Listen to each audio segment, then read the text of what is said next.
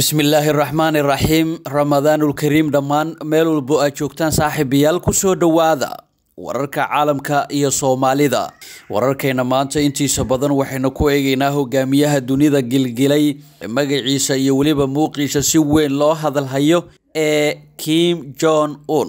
haddaba qodobka maanta diiradda aynu saari doono waxaa ka mid ah waa qof noocee ah hogaamiyaha kuuriyada waqooyi ee muddooyinkii dambe la la-aa islamarkaana ka soo muuqday qeybo ka mid ah dalkaasi kim jon un kim jon un waxa uu qabtay xilka hogaamiyaha sare ee kuuriyada waqooyi isagoo aan khibrad siyaasadeed iyo mid militari toono lahayn. Kim jon il hogaamiyihii qaaliga ahaa inankiisa ayuu u diyaarinayay inuu markaa isaga uu dhinto hogaanka dalka la wareego waxaana dhintay waxaana uu dhintay bishii disembar labada kun kow iyo tobankii. Isla markii uu geeriyooday aabihii kim waxaa lagu ammaanay inuu yahay hogaamiyihii aabihii ku xigi lahaa iyadoona loo magacaabay madaxa xisbiga ee gobolka iyo ciidamada muddo laba toddobaad gudahooda geeridii aabihii kadib wixii intaasi ka dambeeyey inkastoo ay wadahadallo taariikhi ah ay la yeesheen mareykanka uuna sameeyey horumar dhanka xiriirka u kala dhexeeya waqooyiga kuuriya haddana waxa uu muujiyey sida ay uga go-an tahay sii horumarinta barnaamijka hubka ee kuuriyada waqooyi isagoo amraya tijaabooyin nucleerka iyo gantaalada dheer sidoo kale waxa uu muujiyey inuu yahay hogaamiye arxan daran kadib markii uu awoodda ka maroorsaday adeerkii islamarkaana uu dilay iyadoo markaasina uu ka yimid isaga iyo walaalkii ay kala hooyada yihiin. Xidiga waa beri kim jon un waa wiilka ugu yar kim jon il ee xaaskiisa saddexaad ko yong hai ay u dhashay waxaana uu dhashay qiyaastii sannadkii kun sagaal boqol saddex iyo sideetankii ilaa iyo afar iyo sideetankii si kastaba ha noqotee bishii may sannadkii labada kun koo iyo tobankii kim jon nam oo laga masaafuriyey dalka jabaan isaga iyo walaalkii di kim jon ayaa lagu soo waramay inay sare u qaaday fursadiisa dadka wax taxliiliya ayaa u arkayay in ninkan uu yahay nin iimaan soo shaacbaxaya kadib markii la siiyey abaalmarino dhanka siyaasadda. Dalka switzerland ayuu wax ku bartay sida walaalkii kim jon un aynu isku diiday in reer galbeedku saameyn ay ku yeeshaan. Kadib markii uu ku laabtay pyongyan waxaa la ogaa kim il sang inuu ku biiray jaamacadda militariga waxaa la rumaysan yahay in hooyadii ay ahayd xaaskii uu ugu jeclaa aabihii kim jon in aadna waxay u ammaani jirtay wiilkeeda. Wo waxay ugu yeedhi jirtay xidiga waa beri. Bishii agoosta sannadkii labada kun iyo tobankii markii kim jon il booqashadii uu ku tagay shiinaha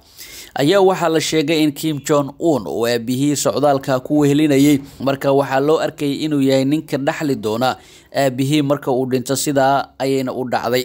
Militariga mudnaanta leh kim waxa uu khudbadiisii ugu horeeyey shacabka u jeediyey boqol guuradii ka soo wareegatay markii uu dhashay aasaasihii kuuriyada waqooyi. Kim ilsan shan iyo tobankii abriil labada kun labaiyo tobankii wuxuuna aada u ammaanayay halkudhigii militariga mudnaanta leh waxaana uu wacad ku maray in waagii dalkiisa loo soo hanjabi jiray uu dhammaaday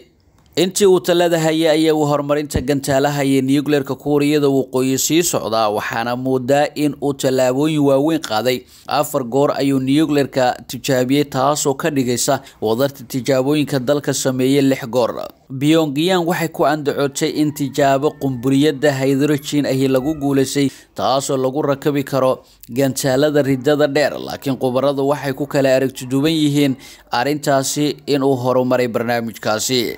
fogaanta ay gaadhi karaan gantaalada kuuriyada waqooyi ayaa sidoo kale kordhay tan iyo labada kun toddobiyo tobankii markaas oo ay tijaabisay dhowr gantaal waxaana ay ku dooday in tijaabisay gantaalada ridada dheer oo ka gudbi kara qaaradaha oo gaari kara mareykanka waxaana arrintaasi sii murjisay xiisada dhex taalay mareykanka waxaana sii adkaatay cunaqabateynta qaramada midoobe ay saareyso iyadoo ay sii kordhayso colaada dhextaala labada dhinac ayaa trump iyo kim waxay isweedaarsadeen eraya kulul. Trump ayaa ku sheegay hogaamiyaha kuuriyada waqooyi miidaamo gantaala halka kim uu ku sheegay hogaamiyaha mareykanka nacas manga mareykana haddana si lama filaan ayaa kim waxa uu caleemo qoyan ugu fidiyey kuuriyada koonfureed khudbadiisii sanadka cusub oo uu ku yidhi waxaan furaynaa wada xaajood. Waxaa suurtagal ah inaan bisha februari ee labada kun sideed iyo tobanka